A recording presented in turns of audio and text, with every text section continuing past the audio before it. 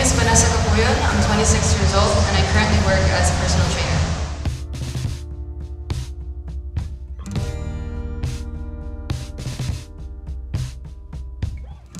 Well, there were a lot of times that people told me to lose weight because I was getting too big, but like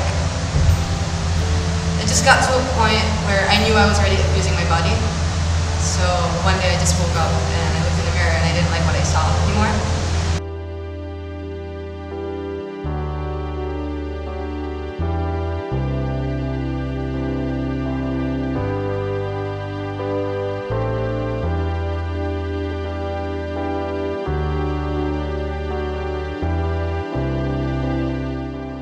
personal trainer, my clients motivate me because my body and the way I look